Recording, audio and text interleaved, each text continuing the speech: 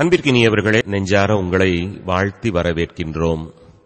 தவக்காலத்தினுடைய இரண்டாம் வாரம் இரண்டாம் ஆண்டுக்குரிய இறை வார்த்தைகளை கேட்க வரவேற்கின்றோம்.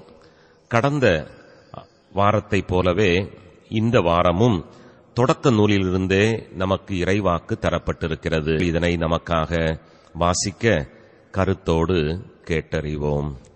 நம் முதுபெரும் தந்தை ஆப்ரஹாமின் பலி.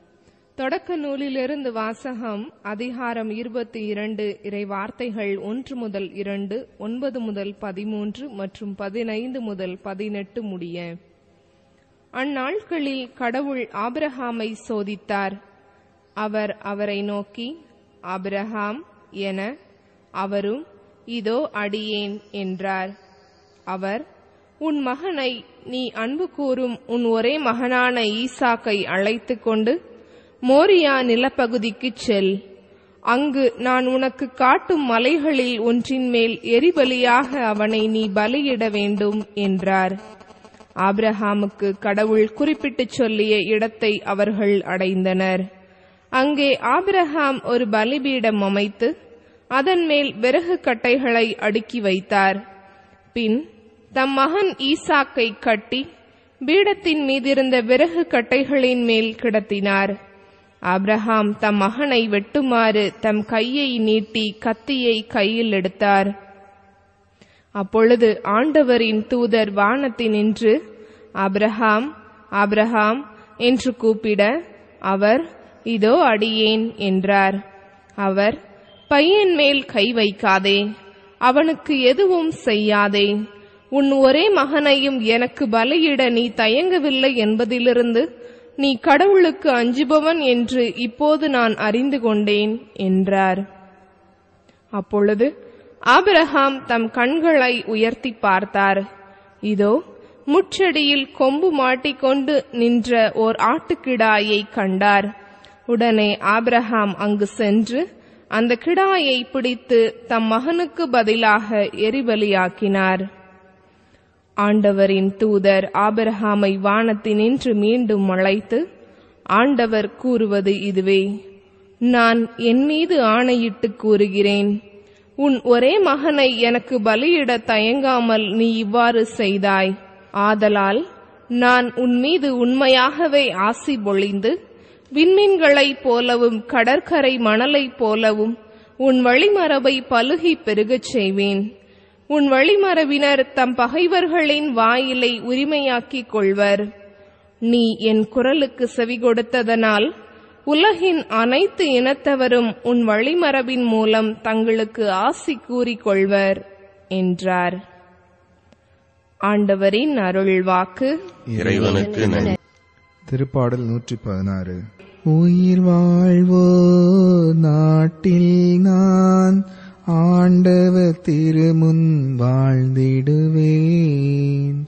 உயிர் வாழ்வோர் நாட்டில் நான் ஆண்டவர் திருமுன் வாழ்ந்திடுவேன். உயிர் வாழ்வோ நாட்டில் நான் ஆண்டவர் திருமுன் வாழ்ந்திடுவேன். உயிர் வாழ்வோர் நாட்டில் நான் ஆண்டவர் திருமுன் வாழ்ந்திடுவேன். மிகவும் துன்புறுகின்றேன் என்று சொன்னபோதும் நான் நம்பிக்கையோடு இருந்தேன். ஆண்டவர் தம் அன்பர்களின் சாவு அவரது பார்வையில் மிக மதிப்புக்குரியது. உயிர் வாழ்வோர் நாட்டில் நான் ஆண்டவர் திருமுன் வாழ்ந்திடுவேன். உயிர் வாழ்வோர் நாட்டில் நான் ஆண்டவர் திருமுன் வாழ்ந்திடுவே கடவுள் தம் சொந்த மகன் என்றும் பாராமல் அவரை நமக்காக ஒப்புவித்தார். திருத்தூதர் பவுல் ரோமையருக்கு எழுதிய திருமுகத்திலிருந்து வாசகம் அதிகாரம் எட்டு அருள் வசனங்கள் முப்பத்தி ஒன்று முதல் முப்பத்தி நான்கு முடிய. சகோதர சகோதரிகளே கடவுள் நம் சார்பில் இருக்கும்போது நமக்கு எதிராக இருப்பவர் யார்? தம் சொந்த மகனென்றும் பாராது அவரை நம் அனைவருக்காகவும் ஒப்புவித்த கடவுள் தம் மகனோடு அனைத்தையும் நமக்கு அருளாதிருப்பாரோ? கடவுள் தேர்ந்து கொண்டவர்களுக்கு எதிராய் யார் குற்றம் சாட்ட இயலும்? அவர்கள் குற்றமற்றவர்கள் என காட்டுபவர் கடவுளே. அவர்களுக்கு யார் தண்டனை தீர்ப்பு அளிக்க இயலும்? இறந்து ஏன் உயிருடன் எழுப்பப்பட்டு கடவுளின் வலப்பக்கத்தில் இருக்கும் கிறிஸ்து இயேசு நமக்காக பரிந்து பேசுகிறார் அன்றோ. ஆண்டவரின் அருள்வாக்கு. இறைவனுக்கு நன்றி. ஒளிரும் மேகத்தினின்று தந்தையின் குரலொலி கேட்டது. என் அன்பார்ந்த மைந்தரிவரே இவருக்கு சேவி சாயுங்கள். ஆண்டவரின் நற்செய்தியை தகுந்த விதத்தில் எடுத்துச் சொல்ல என் உள்ளத்தையும் முதட்டையும் தூய்மையாக்கும். ஆண்டவர் உங்களோடு இருப்பாராக. மார்க் எழுதிய தூய நற்செய்தியிலிருந்து. வாசகம். ஆண்டவரே மாட்சி உமக்கே. மார்க் எழுதிய நற்செய்தி பிரிவு ஒன்பது இரண்டாவது இறைவாக்கிலிருந்து பத்து முடிய. அக்காலத்தில் இயேசு பேதுருவையும் யாக்கோப்பையும் யோவானையும் அழைத்து ஓர் உயர்ந்த மலைக்கு அவர்களை மட்டும் தனிமையாக கூட்டிக் கொண்டு அங்கு சென்றார். அங்கே அவர்கள் முன் அவர் தோற்றம் மாறினார். அவருடைய ஆடைகள் இந்த உலகிலே எந்த சலவைக்காரரும் வெளுக்க முடியாத அளவுக்கு வெள்ளை வெளேரென ஒளி வீசின. அப்போது எலியாவும் மோசேயும் அவர்களுக்கு தோன்றினர். இருவரும் இயேசுவோடு உரையாடிக் கொண்டிருந்தார்கள். பேதுரு இயேசுவை பார்த்து ரபி நாம் இங்கேயே இருப்பது நல்லது. உமக்கு ஒன்றும் மோசைக்கொன்றும் எலியாவுக்கு ஒன்றுமாக மூன்று கூடாரங்களை அமைப்போம் என்றார். தாம் சொல்லுவது என்னவென்று அவருக்கு தெரியவில்லை. ஏனெனில் அவர்கள் மிகுந்த அச்சம் கொண்டிருந்தார்கள். அப்போது ஒரு மேகம் வந்து அவர்கள் மேல் நிழலிட அந்த மேகத்தினின்று என் அன்பார்ந்த மைந்தர் இவரே இவருக்கு செவிசாயுங்கள் என்று ஒரு குரல் ஒலித்தது. உடனடியாக அவர்கள் சுற்றுமுற்றும் பார்த்தார்கள். தங்கள் அருகில் இயேசு ஒருவரை தவிர வேறு எவரையும் காணவில்லை. அவர்கள் மலையிலிருந்து இறங்கி வந்து கொண்டிருந்தபோது அவர் மானிட மகன் இறந்து உயிர்த்தெழும் வரை நீங்கள் கண்டதை எவருக்கும் எடுத்துரைக்க கூடாது என்று அவர்களுக்கு கட்டளையிட்டார். அவர்கள் இவ்வார்த்தையை அப்படியே மனதிலே இருத்தி இறந்து உயிர்த்தெழுதல் என்றால் என்ன? என்று ஒருவரோடு ஒருவர் பேசிக் கொண்டனர்